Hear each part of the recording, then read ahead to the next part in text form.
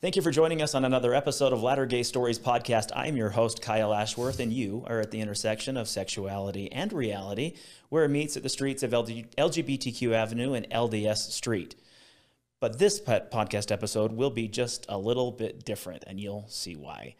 We're excited to have you here, excited for uh, our many followers and fans who have made the Latter Gay Stories podcast the premier LGBTQ LDS podcast in the space. This is now our 10th season, which means 10 years of podcast episodes just like this. So thank you. Thank you for, for following. Thank you for sharing. Thank you for participating uh, in the podcast and helping us to build bigger and stronger bridges between a religious community and the LGBTQ community. It's through sharing these episodes, through interacting with these episodes, and support of podcast episodes like this, that we're able to create more visibility and more discussion around topics like this. Now, I'm really excited about today's podcast episode because it is just a little bit different. It's not as Mormon, not as Latter day Saint as we typically talk about, but still birds of a feather ish. It's one of those podcast episodes that still talk about the many intricacies of religion and sexuality and identity and the things that um, are so important and the things that we talk about uh, so frequently on this podcast episode. So, uh, for those of you who are watching on our video version, uh, through YouTube or Facebook, we invite you uh, to follow along and participate in the live chat. If you have questions, uh, comments, something stands out or uh, is interesting to you, let's chat about it. Let's talk about it um, in the live chat. And if you are listening on an audio version through one of our many audio podcast players like Google, uh, iTunes, the Apple products, uh, iHeartRadio, or one of Stitcher, one of the many other ones, we invite you to subscribe to this channel wherever you're listening to us. One uh, cool little tip: those who listen to the audio, uh, the audio podcasts on the audio side always get the episodes first. So subscribe to this channel wherever you're catching it. With all of that aside, and without uh, further ado, I want to welcome to the podcast Ashley Ryan. Ashley, welcome. Hi, thank you for having me. I'm so excited. LDS, yes.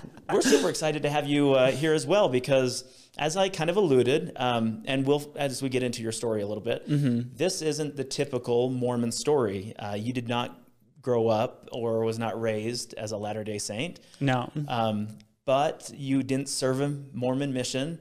Um, but you did kind of have some mission experience within your faith, and yes. so we'll we'll talk a, a little bit about that.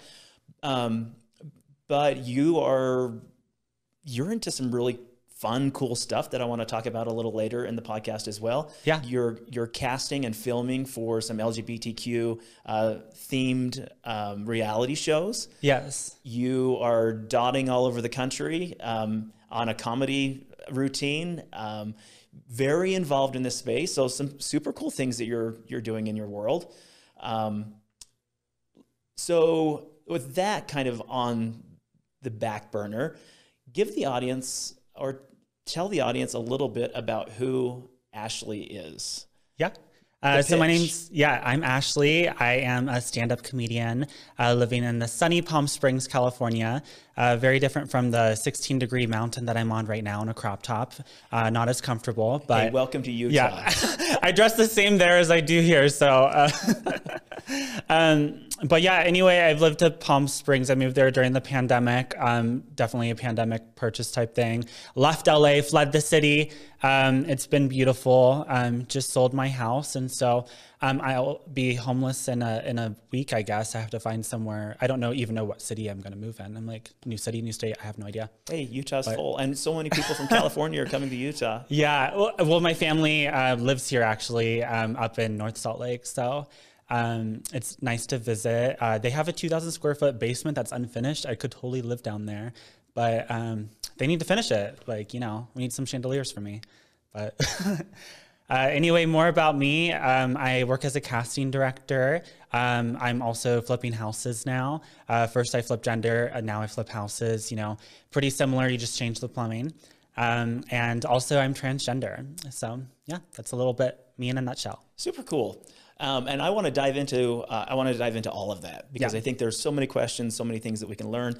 Um, this would be really just a fascinating, fun um, interview. And if you're open to some hardball, just off the wall questions, maybe some no holds barred.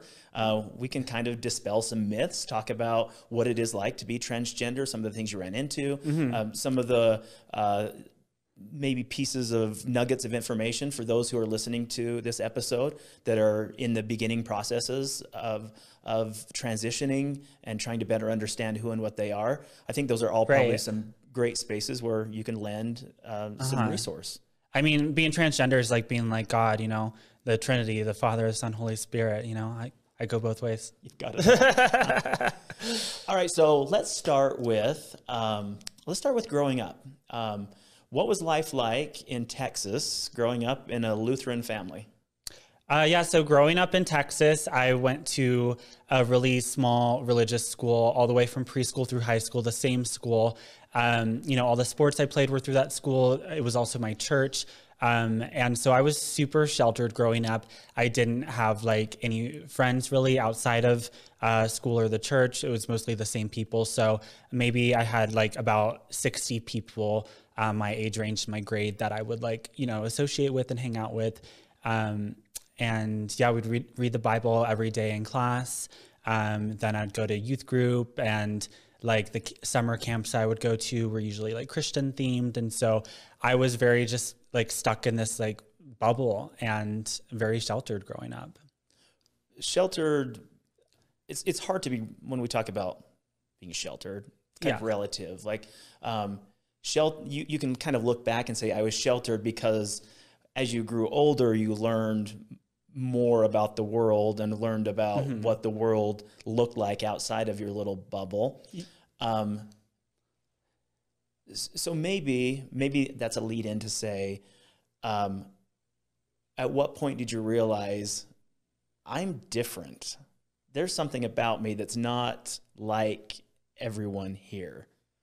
Yeah, I mean, I, I always felt different growing up. Um, I mean, even as far back as in preschool, um, I would get like in trouble for playing with certain toys or for um, trying to play with the girls. And sometimes the girls would be not very friendly and they'd be like, oh, you have cooties, you can't play with us. And I would get hurt and then, um, you know, cause a ruckus. And then I'd always get in trouble and they'd be like, you need to play with the boys. Like, and like I'd get reprimanded and like, they'd be like, sit me down with the boys and I would just look at them and they'd be like playing with like the guns or swords or whatever, like, you know, violent things like boys in Texas like to do.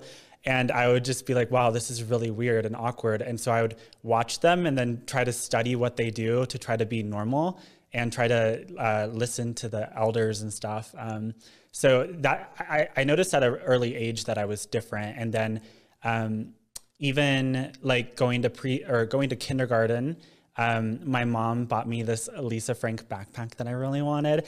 And then when we got home, my dad got so mad and like was just like yelling like in front of me, like, oh, like everyone's gonna make fun of him. Uh, I was uh, him back then. Um, and uh, like it made me really self-conscious about what other people thought at a very early age. And so I always kind of knew something was different. What what about what age were you? Um, that was kindergarten, so I would say around like seven or eight. I think, yeah. So in terms, I think this brings up a good uh, opportunity to talk about parental support. If your mom's buying you um, what society would deem as a girly backpack, um, did you feel like mom didn't mind um, breaking gender norms? Uh, was dad the more rigid, or were you old enough to even make that delineation or figure out that there was a side there? Um, I wasn't old enough to even realize like what was happening back then. Um, my mom was just artsy and just very supportive, and my dad was like the uh, jock, like asshole, like you know, type one. And they ended up getting divorced. Um, he, he was Republican, she was Democrat, so grew up in a mixed family, I guess. But uh, um, yeah. all around. So, so mom, um, so your kindergarten, you're kind of growing and and trying to better understand who and what you are. Yeah. Any pivotal points that kind of finally break this shell open when you start putting feelings and experiences into language? Yeah, so uh, like I said, I, I was super sheltered in the fact that um, I was an only child. I, I didn't have brothers and sisters, and so I really didn't understand uh, differences between gender until I was like maybe in middle school. I was like really late to the game. Um, I, like I didn't understand like what sex was. Um, I didn't. I had never heard of the word gay or lesbian. I actually remember the first time I heard the word lesbian was in middle school, and I kept forgetting what the word was. So I'd ask my friend, I'd be like, "What's that word you said about like when two girls like each other?" Like that's how sheltered I was. Um, I never actually met a gay person um, who was openly gay until I was 19 and left Texas to go to um, California in college. And so that's that's when I when I say I'm sheltered, like that's like I would lived in a bubble. Um, of course, I I did know gay people, but um, who you know came out as gay later in life. Uh, but I never had met someone um, who was openly gay. That was like so taboo um, back then. But yeah, w- when I first had uh, realizations about that I was different or what I, I mean, I always knew I was different. Um, when I first heard the word gay, I thought that might have described me because um, I knew I liked boys. But, um, you know, again, through, I grew up uh, religious in the Lutheran faith and, you know, they taught us ways um, you know, if you, you ever have a temptation of any kind to, you know, just start thinking of the Pledge Allegiance. So if you're having thoughts like, oh, I might like guys, you just like sidetracked your mind and you don't allow your brain to have those thoughts. So it's like a form of denial of yourself. Um, so I'd have a lot of that. But anyway, getting to your question, um, I first heard the word transgender, um, I believe it was in sixth or seventh grade. And it was because some kids had seen Oprah and they had a transgender person on Oprah. And um, it might have been like someone like a Jazz Jennings type. So it was like a, a kid who like transitioned. And so people were talking about this at school. And when I heard that word, I was like, I instantly knew, I had no idea that transgender existed. I didn't know that w- was something that was possible. Um, and I, I like had like my heart maybe skipped a beat when I first heard that. I was like, I like couldn't breathe. I, I was standing by my lockers when that happened, and I was just like so nervous. I was like, "Oh my gosh, wait! Like, is that what I am?" And then I was like, "No, no, no, no." And then, um, you know, just denial, denial, denial. This is the point where you start reciting the Pledge of Allegiance. Yeah, exactly, exactly. Um, uh, yeah, I can't even think of the Pledge of Allegiance right now. I haven't said in quite some time, but uh. see, in Mormonism, uh, it's we don't recite the Pledge, Pledge of Allegiance. We're supposed to sing a hymn. Yeah. When you have a bad thought, okay. you sing a hymn, and that will distract you. And what you what away. hymn did? What was your go to hymn? Is that what made you gay because you just kept thinking of him instead of him? Yeah. So H I M. There is a uh, there's a great Mormon hymn called "Come, Come, Ye Saints." So that probably was the great mm, one. okay. Every gay Latter Day Saint would sing. Yeah, I mean that could be a, a rap song too. You know. Who's that rapper? CupcakKe. She could sing sing that. Um, yeah, we we we definitely rap to the Mormon Tabernacle Choir. That's yeah. Our, that's our interesting. Interesting that uh, uh, the Pledge of Allegiance is it. Um, so you you make this correlation um, because of an Oprah episode, which is fascinating. Yeah. um, anything in the religious community? Um, was there anything that came out of uh, the Lutheran Church that spoke specifically against or for or even neutral regarding um, transgender individuals in the church or in communities?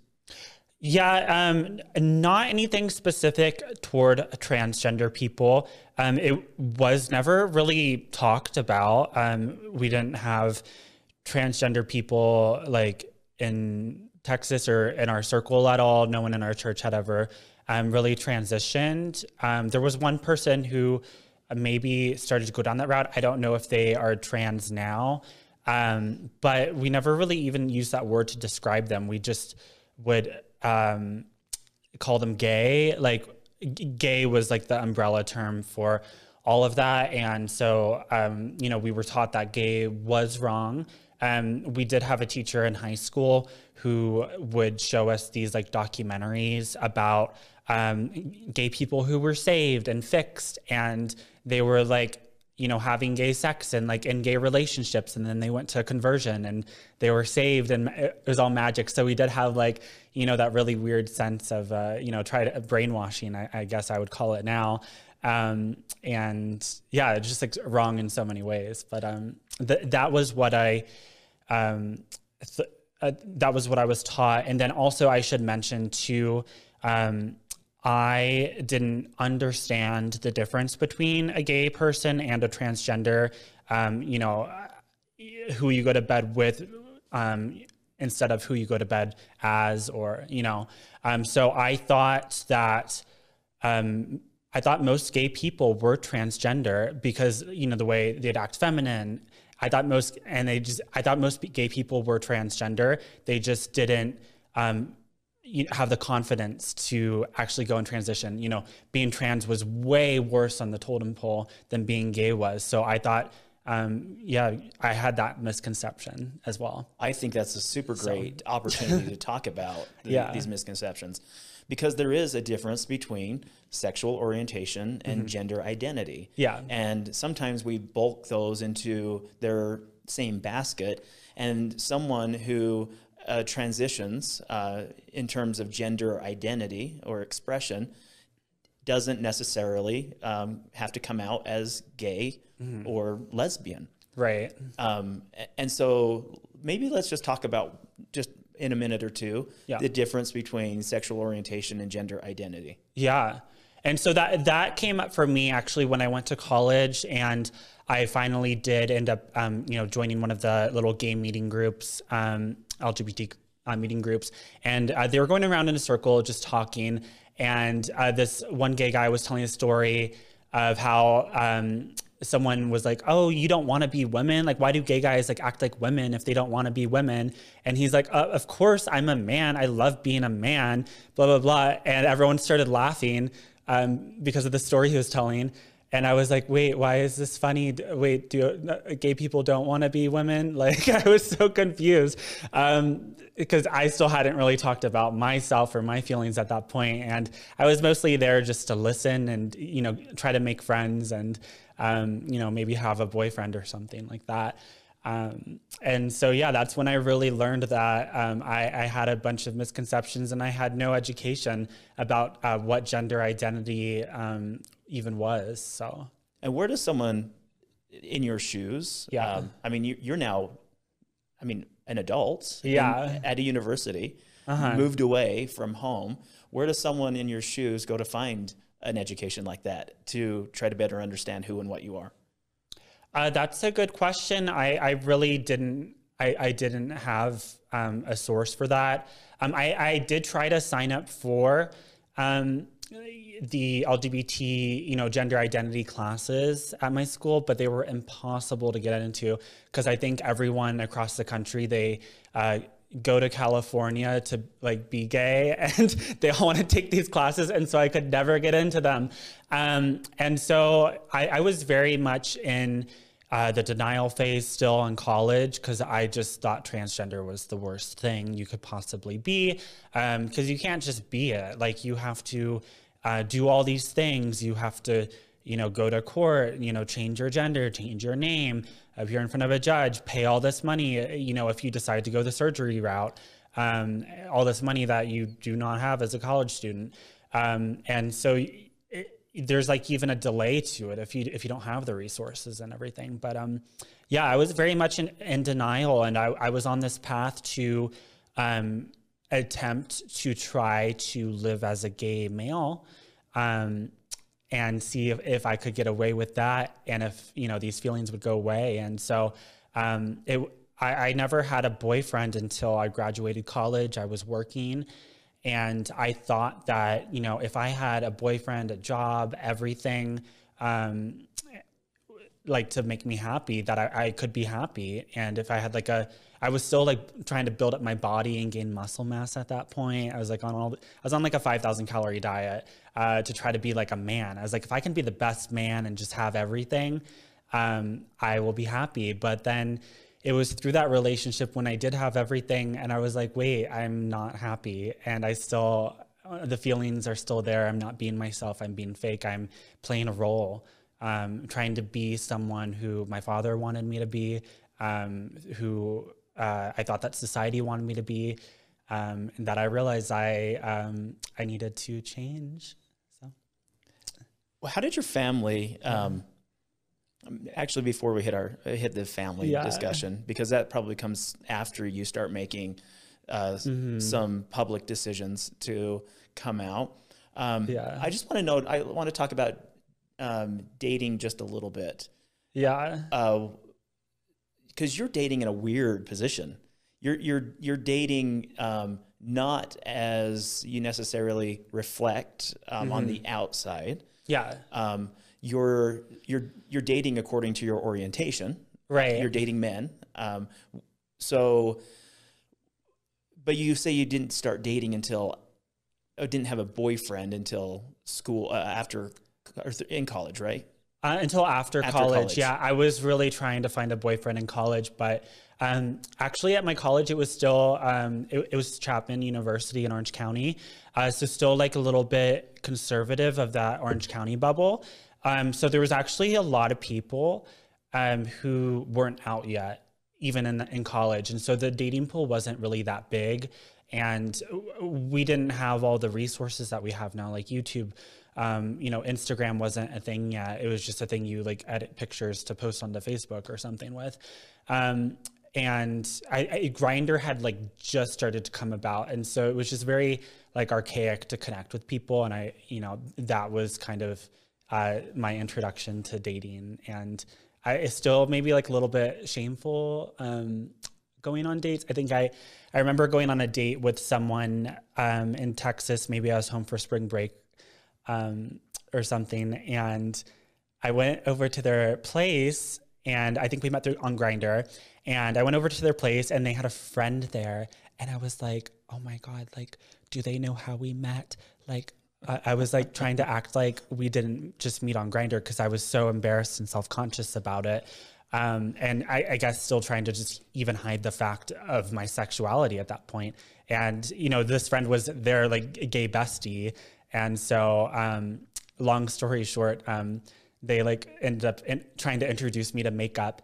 And they're like, "Oh, do you want to try putting makeup on?" And I was like, "No, why would a man try to do something like that?" I was like shutting it down, but deep inside, I like really wanted to try it. But long story short, we um, both went on a date, and um, we like ended up hooking up, and um, then we we've just stayed in contact, and we both ended up transitioning together. and so she's my trans uh, sister now. Yeah. Crazy how things work out. Sorry, I feel like I'm going off on all these tangents. Um, but then to bring us to kind of the next step um, of, you know, kind of confronting myself. So it was through um, the relationship with my first boyfriend that I started to realize, hey, like I need to, I'm still dealing with these issues. Um, and at the same time in my career, I was working um, at a, a reality TV studio, and my job was to create reality shows and pitch them to uh, TV networks. And so um, my boss came in the office one day, and she's like, um, "TLC wants more fat shows." And she's like, "You need to think of a fat show to pitch to, the, to them in at this conference I'm going to tomorrow." And I was like, okay. And so she left the office, and I'm just like trying to think.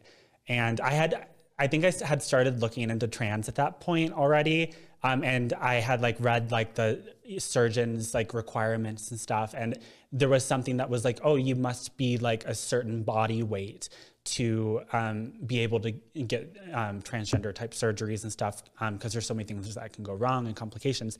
And so while she was gone, I thought of the TV show Trans Fat about people who were transgender and uh, they needed to lose the weight in order to transition. So it's like a double extreme makeover show. Not only are they like losing all the weight, becoming this new person, they're also so flipping genders at the end. So this crazy cool concept and it sold the next day. And so through that show, I had to cast the whole thing myself and I must have interviewed like maybe like 50 people.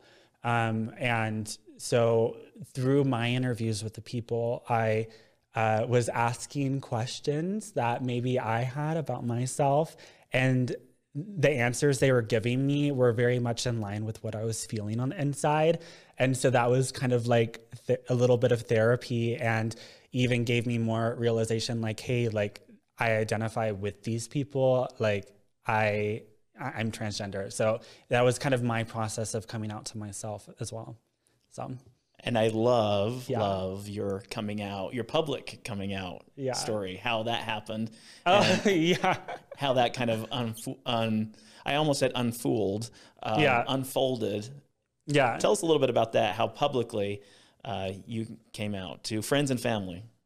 Yeah. So, um, of course, I, I started to come out slowly to um, you know, some of my best friends. And I wasn't a comedian at the time, um, but I was always making jokes. I was always like, you know, playing practical jokes. And so when I first told people uh, that I was transgender, they're like, uh, haha, very funny. Like my best friends did not believe me because I had made up so many lies in the past about uh, just crazy jokes that took I, I took too far that they're like, no, you're not. Like, you're to come back a week later and you're like, to say, just kidding.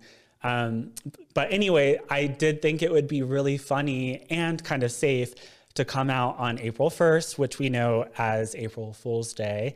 And so um, on Facebook, I just decided to make a blanket announcement. I changed my name and I, I said, um, you know, I'm transgender. I love y'all.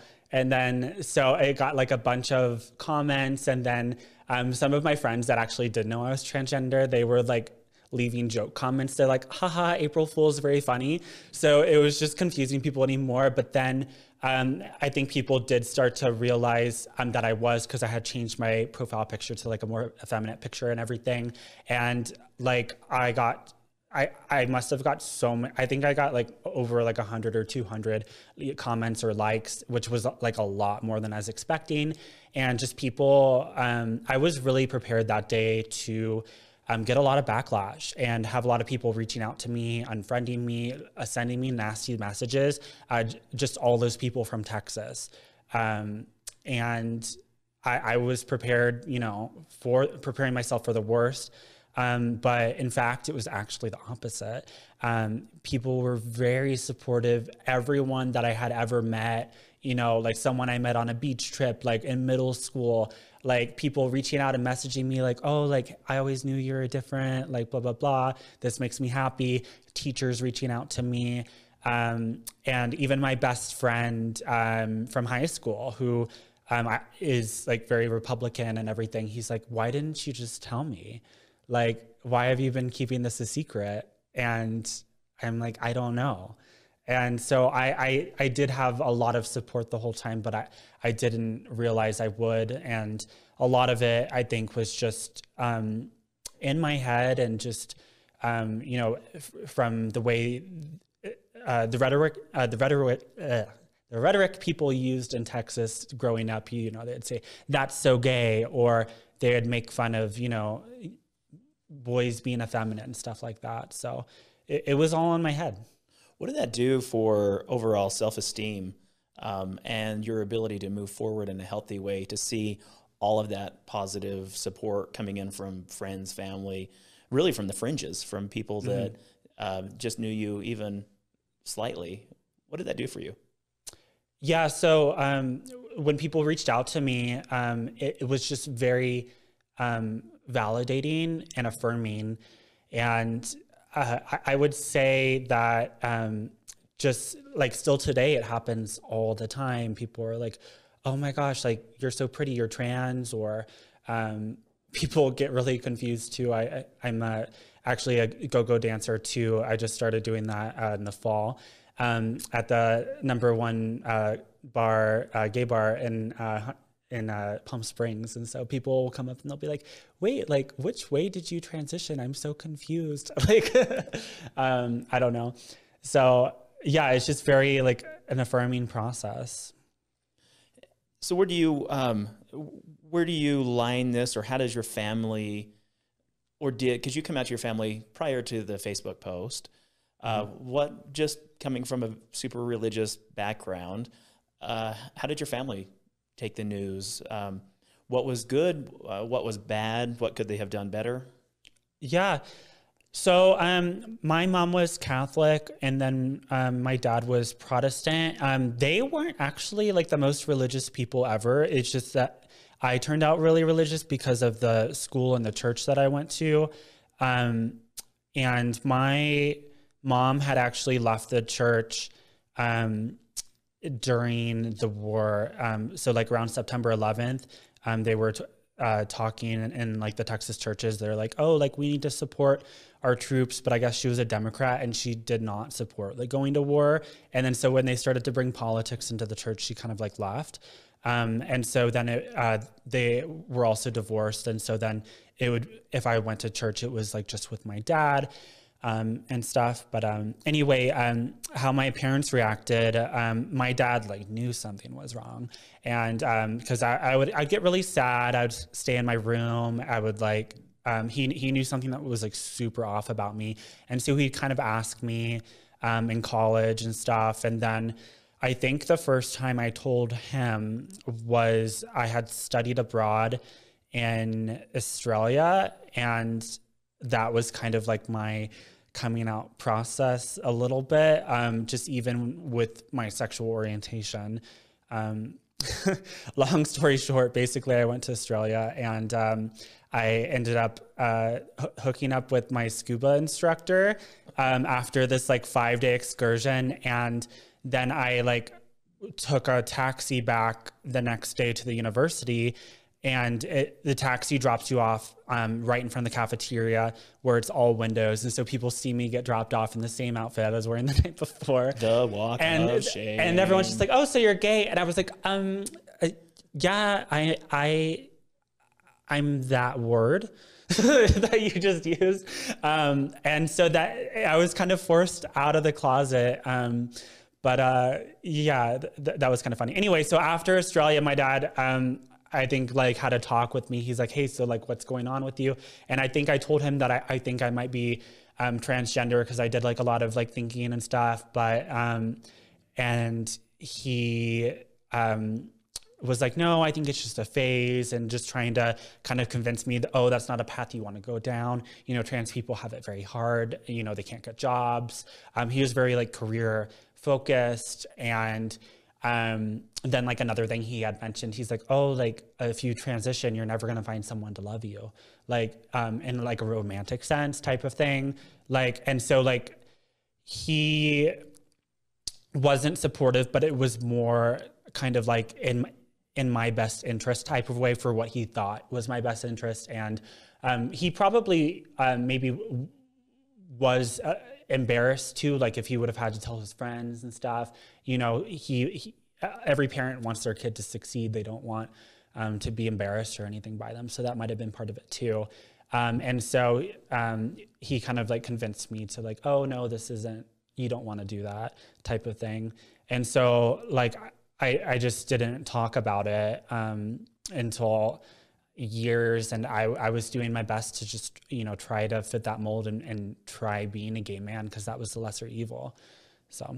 Yeah that makes a lot of sense. And and it's hard to be in that situation and not read between the lines yeah like try trying to be in those positions and say I am these things though, dad. Like mm-hmm. the, these are things that bring me happiness, but also like I can understand you um, trying to look out for your father's best interests yeah and and understand the position he's coming from but at the same time you have to say this is about me too maybe there's some maybe there's some part of it that requires us to be self-centered a little bit mm-hmm. and selfish which is yeah. so uh, against religious principles in the ideas of mm-hmm. we're supposed to think of other people before we think of ourselves and and here you are kind of yeah. struggling on the vine. Well, also back then there was no one to even look at and say this is a, su- a successful um, trans story. back point. then there was no Caitlyn Jenner.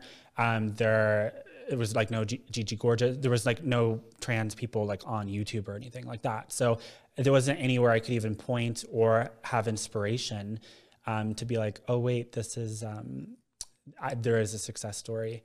And then um, I guess I should mention just because I did mention Gigi Gorgeous. Um, so when I was working on that TV show that I had pitched, um, the Trans Fat Show, it actually ended up airing. It was called Too Fat to Transition. I'm so mad they changed that name, but you know, uh, no control over that. Anyway, so while I was researching doctors for the show, I came across a video uh, by Gigi Gorgeous, and I had seen pictures of her before. Um, we had mutual friends, um, but I didn't realize she was trans. And then I saw her um, doing this video about her like transgender surgery and meeting with the surgeon.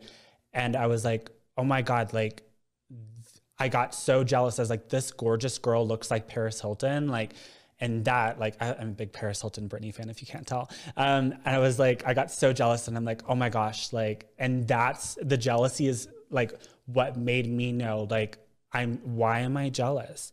It's because I'm trans and I didn't even realize that you could transition like this and be successful and pass and um, be desirable, you know? Um, and so that that was a big moment for me to confront myself and be like, hey, like you know, I need to work with my feelings. So, yeah.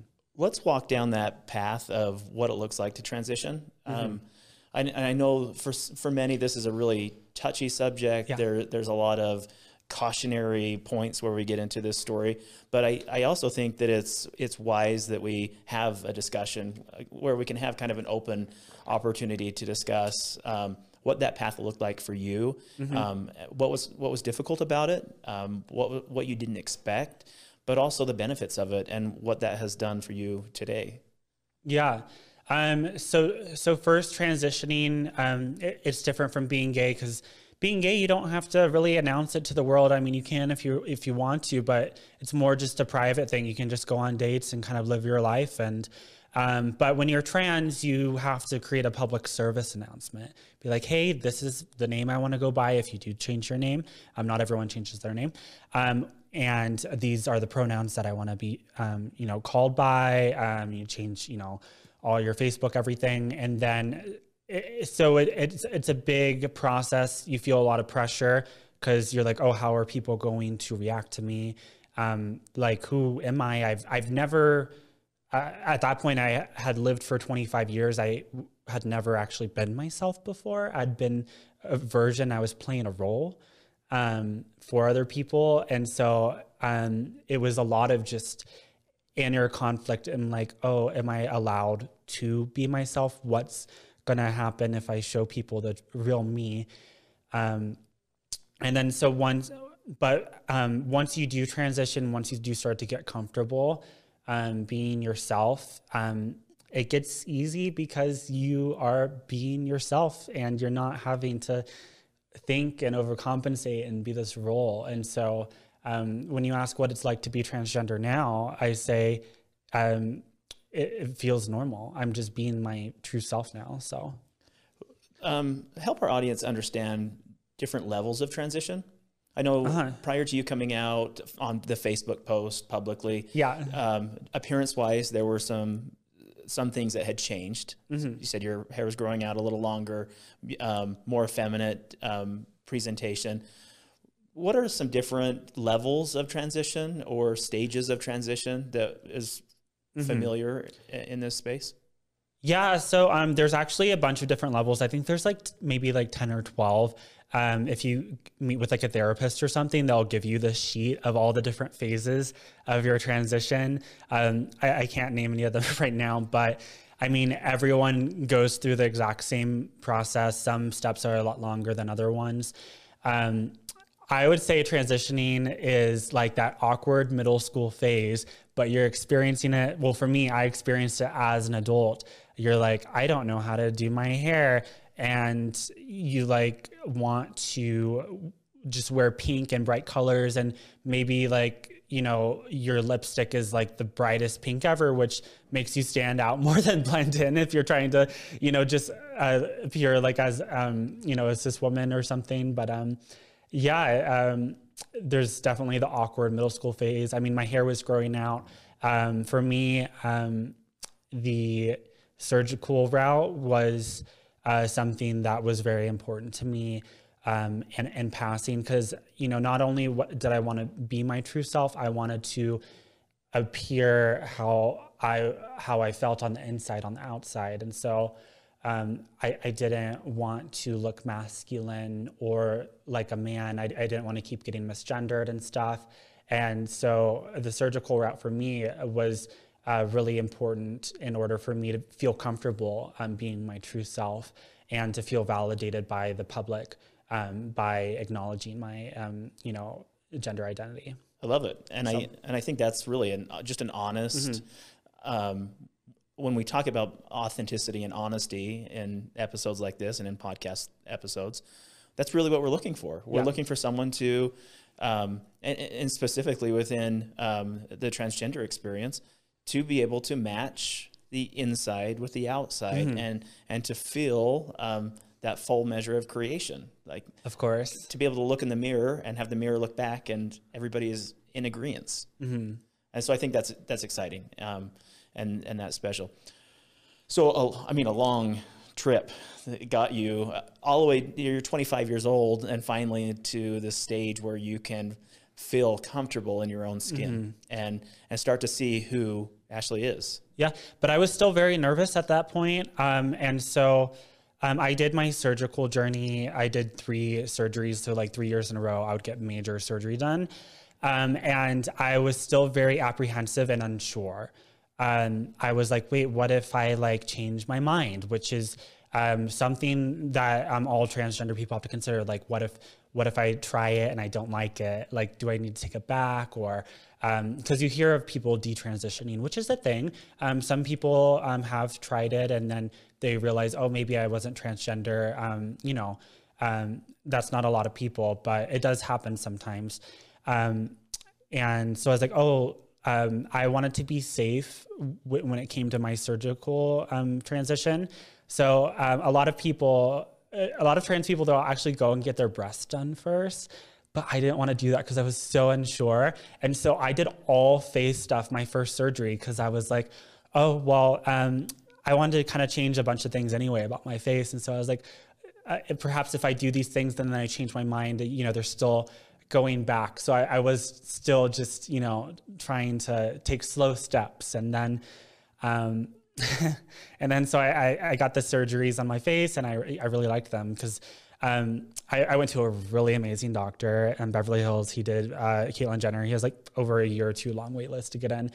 And um, he, so not only does he change your features to be more feminine, they give you like the full celebrity, like the the looks that everyone wants. And I'm like, oh, it's su- such a good feeling to get this surgery and just see yourself in the mirror and everything. But um, then I didn't get I didn't get breasts until my second surgery, and I I got my second surgery pretty quick because um, I was actually living with a, a, roommate at the time who also ended up uh, transitioning, and then she got boobs and she started to get a bunch of attention from guys, and I was like, I want that attention, and so and so then uh, I, I, again I was jealous, and so I'd say jealousy. Um, kind of played a role in getting me to transition because I was like, why am I jealous of her? It's because I want this for myself. And so, because um, I was still very uncomfortable with being myself and very just unsure and indecisive. Um, I'm an indecisive person. So, when it comes to um, yeah. your work yeah. and your profession, how did that world um, treat the transitioning, Ashley, the different stages as you were navigating that world? Yeah. Um, transitioning um, professionally is very difficult. A lot of people lose their jobs and stuff. And um, I ended up uh, finish uh, wrapping the um, trans fat show, and then um, my company got rid of their American division.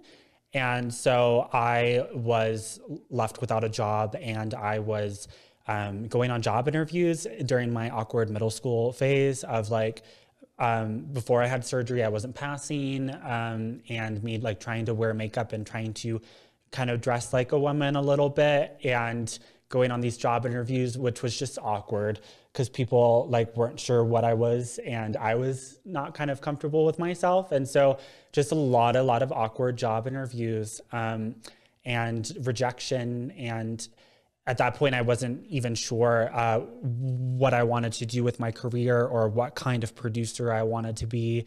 Um, hindsight, I really wanted to be in front of the camera, but I was I wasn't confident yet.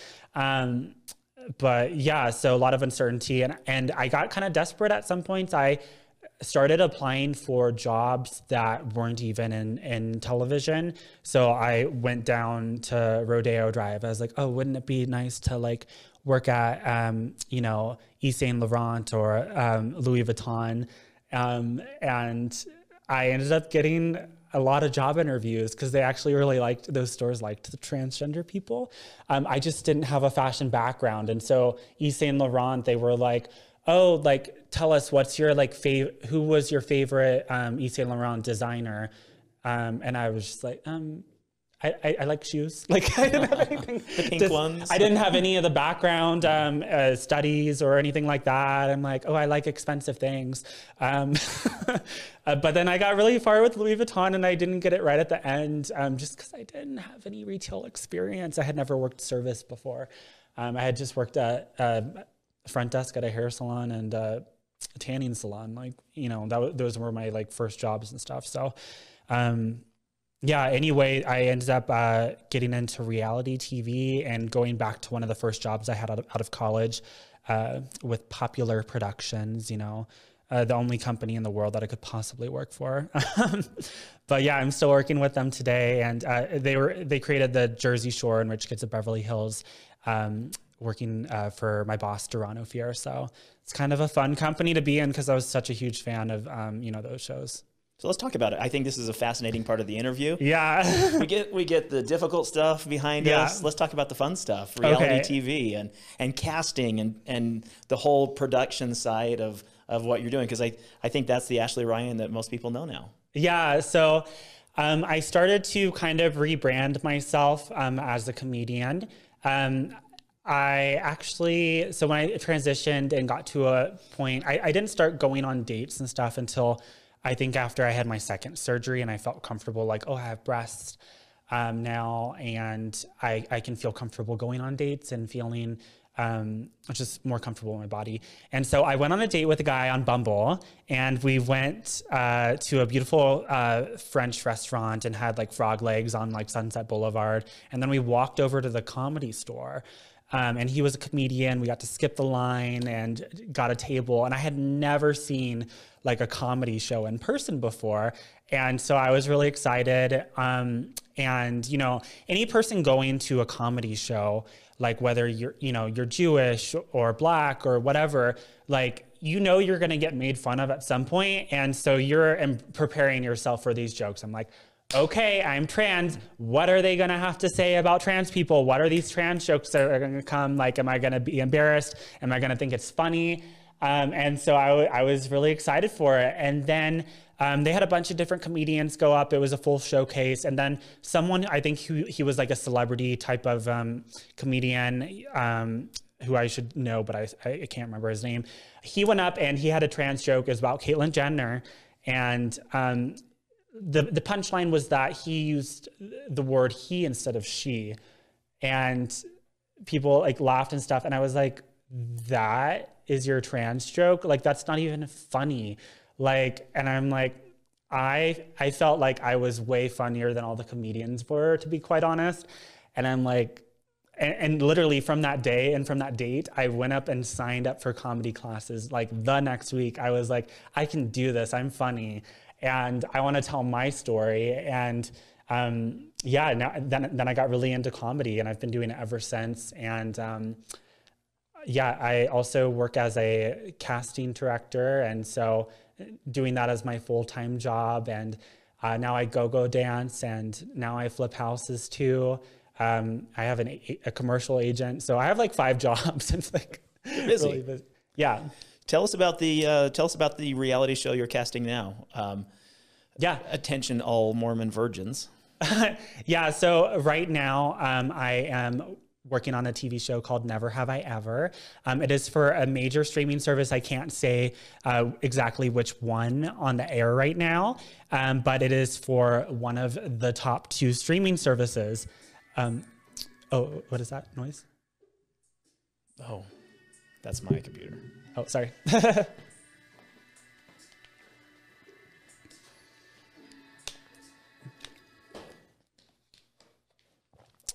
I was like, "Are you playing some mood music for my?" that's uh, that's another episode that's starting right now. It's playing, and that's the Facebook, the YouTube, like the forty-five second intro. Yeah, like porn music. Okay. All right, we'll start. Let me go back. Yeah. All right, so tell us about what you're casting now. Yeah. Um, attention, all so Mormon I'm casting, virgins. Yeah, so I'm casting a very exciting new dating show called Never Have I Ever. It is for a major streaming service, one of the top two. I can't say which one, is, but but it's one of the top two. Um, anyway, it's very exciting because it's a dating show featuring all virgins or born again virgins. Um, you know, virgin, we mean by whatever you define that as. Um, you know, therefore, so if you identify as a gay person, but you've had straight sex before, but never had gay sex before, um, you can be on our show. Um, that is a type of virgin. Um, if you were um, married and had sex, um, but then, you know, got divorced or got widowed, something happened and you haven't had sex since, um, that is a born again virgin. We accept stories like that. Um, we also are accepting stories of like, you know, trans people who have had sex before um, and then got gender reassignment surgery and haven't had sex yet. Um, so um, there's a lot of different definitions of a virgin we're looking for. But this show is super exciting um, because it, it, would be like a resort uh, style show. Um, so it'd definitely be a pool of people. Um, everyone's in the same boat. Um, you know, you're in the same playing field, uh, dating people who are either virgins or born again virgins and want to focus on, you know, um, intimacy and relationships and everything. Um, and I think it's just a very much needed show. I can't believe there's never been a virgin dating show before. Um, I think there's still a lot of stigma, uh, especially for men losing their virginity later in life. And I just, this show's so exciting to get to talk about openly and confidently about that. And I, I think it's going to address a lot of important things like, no, there's nothing wrong with losing your virginity whenever you feel comfortable. Maybe you need to get into that first loving relationship and um, yeah, just exciting show. I'm interested in. I'm just yeah. wondering how how is going trying to source a gay or LGBTQ version market. It just doesn't seem like there's yeah. a plethora of candidates with things like yeah. Grindr, yeah, out there that exist. Well, we're casting all virgins. It's not just gay. Um, we're looking at doing like pods on the show. So um, we'll have uh, bisexual people mixed in who will go on dates with all people, um, you know, pansexual, and then we'll have gay pods as well. Um, and a lot of the gay stories have been people who um, have just come out or coming out later in life. Um, and it, it's going a lot better than I, I thought it would be um, for uh, gay people who haven't had sex yet. And, you know, a lot of people have like done foreplay and stuff and messed around, but haven't gone all the way. Um, and so I'm just getting some really amazing stories. It's exciting. So, yeah. someone who says to themselves, I could find my life some excitement on a resort? Yeah, so if someone would like to apply to the show, um, you can either send me a DM on Instagram. Uh, my handle is at Ashley Ryan TV. Um, also, um, or you can apply directly to our application on the website. It is never have I ever dot castingcrane.com. Um, that application link is also currently on my Instagram. Um, I think we're going to be casting all the way um, to the end of April. Uh, maybe the second week of May we'll be casting till. Um, it's a 12 week process, so there's still a lot of time. Um, you can apply for yourself, or if you want to DM me, maybe someone you want to recommend for the show um, but you're too shy to tell them, um, we do that as well. Just send us their contact information. Uh, we will reach out. Um, but again, uh, this is a cool opportunity because you know it would be like uh, most likely a four to six week commitment of you living in a resort style um, atmosphere and doing nothing but focusing on just your love life, which so many of us, you know, we're focused on career or hiding for two years because of a pandemic. and so it's such a, a, cool time to have this. And um, I should also mention this is international. So um, we're casting Canada, USA, UK, Australia, uh, you know, just mostly the main English uh, speaking um, countries. So um, very exciting. Um, you do need to have a passport. Um, the production company is based in the UK, um, and uh, I don't, we don't don't have a location yet, but um, it's going to be somewhere awesome. So, and call me crazy. Yeah. But do I remember you on Bravo's Below Deck? Yeah. So I was on Below Deck as a uh, guest of the main charter guest um, in 2020, um, which it aired in November of 2020. which was really funny because um, if you remember November 2020, it was deep pandemic. Everything was shut down. People lost their jobs. Um, you know, everyone's posting on Facebook like, "Oh my God, I can't get toilet paper."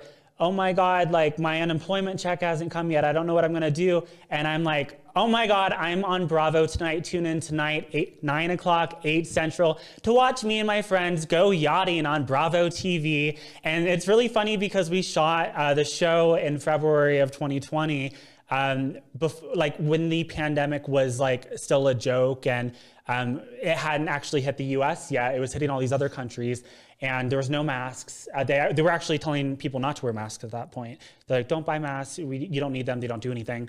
Um, and so we had like brought um, masks to the airport like as a joke. Like this was like before like the pandemic.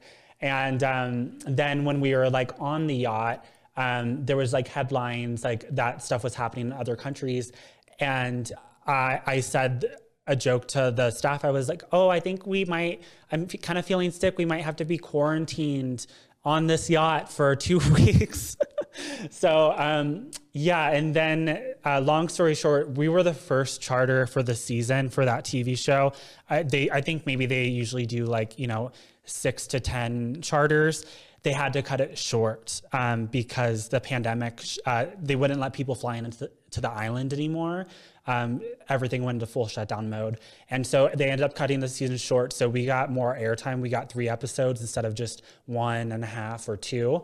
Um, so that was really exciting to, um, and I had never been on a yacht before. Oh my God, like living the life. I didn't realize people live like that. Oh my gosh, A best uh, best vacation of 2020, I should say. It's time to create another another reality show. Yeah, I'm so ready to create another. Yachting. Where gays go yachting? well, that kind of was my group. Oh my gosh, there was a, there was a lot of real drama that actually did happen on that. Really funny. uh, not surprised. Not surprised yeah. at all super fascinating story. Uh, first, thank you. Thank you for sitting down and, and sharing some of your story and mm-hmm. letting the audience get to know uh, you and your experience a little better and, and maybe even better understanding what it's like to be transgender just a little bit more uh, than they did prior to this episode.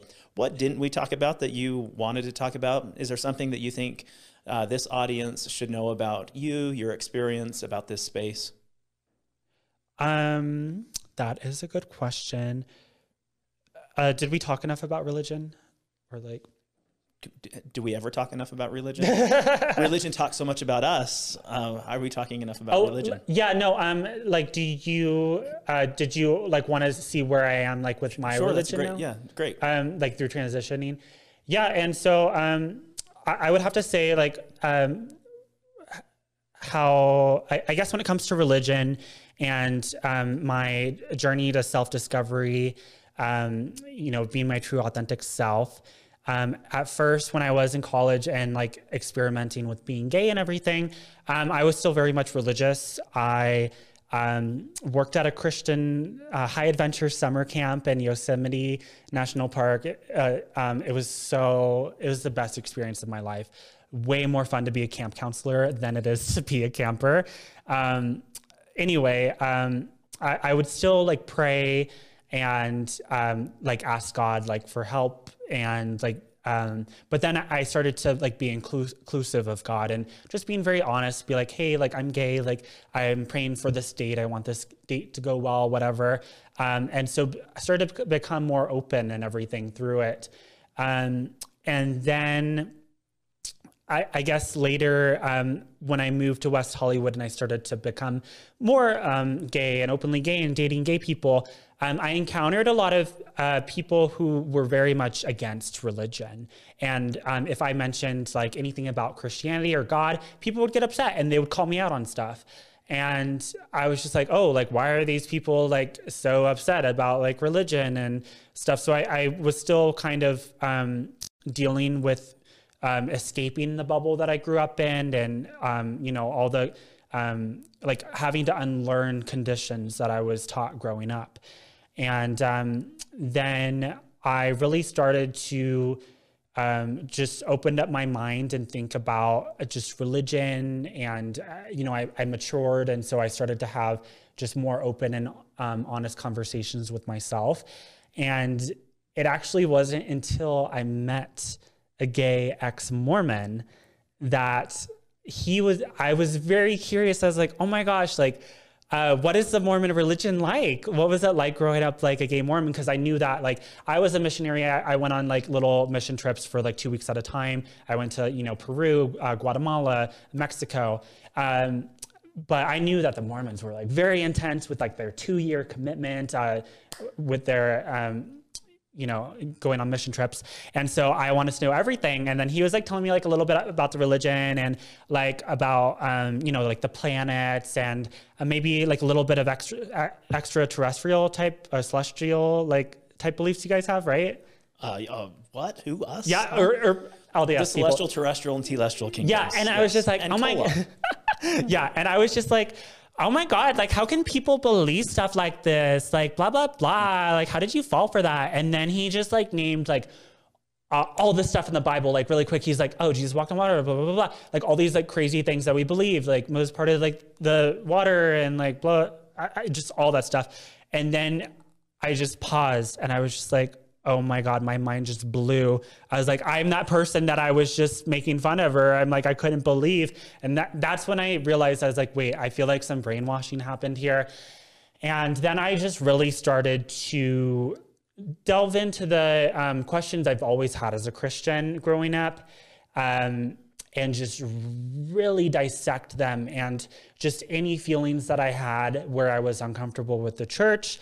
Um, I finally confronted those feelings. And so, for example, um, you know, just growing up in the church, um, anytime uh, you have a question, you you ask it. You're like, oh, like what does God think about this? And so I would ask questions. I would be like, what does God? Um, we're taught that you can only get into heaven if you believe in Jesus that He died on the cross for your sins. And so I'd be like, what happens if you are in a tribe in the jungle in Africa uh, not, I don't even think there's jungles in Africa. But like, what if you're in the middle of nowhere and like you never heard like the gospel? Like, you just like we're taught that like you like go to hell and you burn in hell and your skin's on fire and you're in pain for all eternity. That's what I was taught in the Lutheran church. Um, and so they would just like give us generic answers. They'd be like, oh, well, the Bible says that in this verse that, um, you know, we're not supposed to know the answers to everything. Or, um, we'd be like, what happens to children if they die before they can talk? And they're like, oh, all God's children go to heaven. And so they would always have like these like loop, uh, like walkarounds for the really hard questions. Um, and then, and so another, so the biggest question for me was like, just for people, like, wait, so you're saying that everyone who doesn't believe Jesus died on the cross for your sins goes uh, to hell and burns like for all eternity. And that never sat right for me. I was like, wait, I was taught that God was a God of love, and a God of love does not send people who were born in a Muslim country where it is the law that you have to be Muslim, where it is uh, you're not allowed to have Bibles or illegal. It didn't sit right with me that all those people have to go to hell just because of where they were born. And so that was a huge red flag to me. And then just going back and um, you know, studying and understand where religion came from. And, you know, Christianity was very much law, like the kings like forced it on people and stuff. Um, and there, I actually had another friend who um, he uh, was brought into a cult and he escaped from the cult and just viewing after hearing his story, like all the similarities um, t- that I had felt were in um, th- not just the Christian faith, but all faiths. It's, you know, they all say you can have no other gods. They all say um, this is the only way to heaven. You have to believe this religion, or else you can't get into heaven. And by the way, we want all your money. Um, those were the ma- three major red flags that were like made me really uncomfortable. Like, whoa, not only do I not believe, I'm, I'm no longer comfortable with Christianity, I'm not comfortable with any organized religion. And now I'm to the point I do, I'm very spiritual. I believe that we're all connected. You know, um, that feeling you have when you're thinking about someone on the other side of the country and they call you five seconds later. We all have experienced that. Um, but at the end of the day, I've gotten to the point where I'm just like, you know what? None of us know what happens to us when we die. None of us have actually died. Your beliefs are just your beliefs, and that's what it's meant to be. Like, you don't even if you decide to follow a religion it's still your your personal choice it's your belief you don't you don't have to listen to what any anything that anyone else tells you um, and i like to think that um, we all have a purpose and that we all that our purpose is on this earth is greater than just hoping that we end up following the correct religion so that we can get into heaven and so I think we all have a greater purpose. And so for me, uh, my purpose is very much uh, change, acceptance, and uh, making the path easier for other people.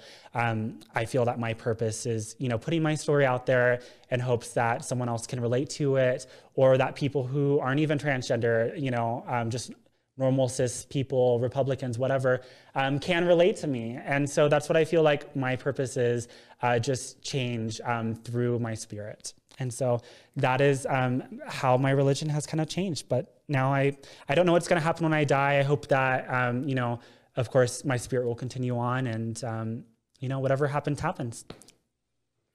You will draw closer to your idols like Britney Spears and yes, Paris Hilton. I love it. Thank you. Thank you for sharing your story. Um, yeah. Thank you for being open and candid and honest and real and and willing to answer a few hard questions, but also mm-hmm. have a little fun.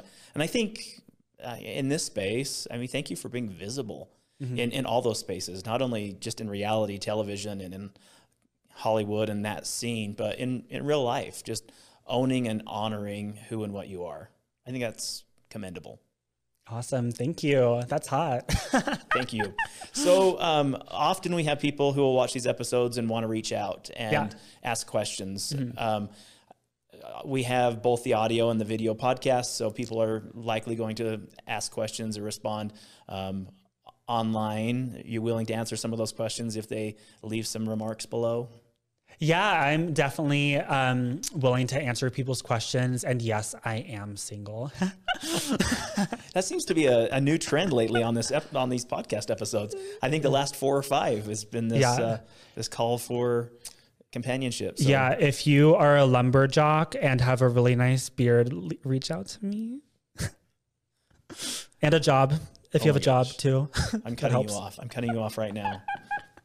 I'm not casting for uh, relationships on this podcast. Okay.